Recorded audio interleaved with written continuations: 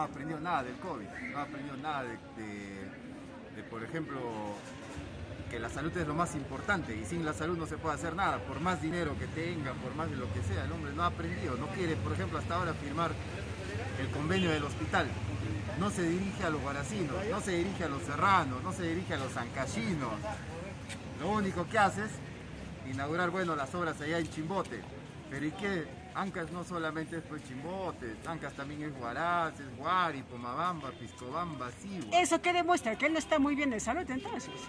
Seguramente, ¿no? Seguramente, pero, pero no creo, ¿ah? yo más, más bien creo que él no quiere venir a Huaraz, no quiere invertir en Huaraz, no tiene nada para Huaraz en las manos, no tiene nada para ofrecer aquí en obras. Ese yo creo que es más el tema. ¿Qué hacer? Bueno, hay que seguir insistiendo, ¿no? Pero ya Porque se compró, ya dice, los kits para la revocatoria. ¿Usted cree en la revocatoria, Salcedo? Bueno, se viene un tema electoral, un proceso electoral y se viene una revocatoria. Entonces, yo creo que ahí va a haber mucha confusión. Posiblemente después, después de las elecciones, tal vez. Pero en este momento una revocatoria, más yo creo que va a ser una indignación de la población por el momento. ¿no? En ese sentido, pero si no está, no está el gobernador, quien está, pues es su gerente. Usted puede ver cómo se mueve como pez en el agua.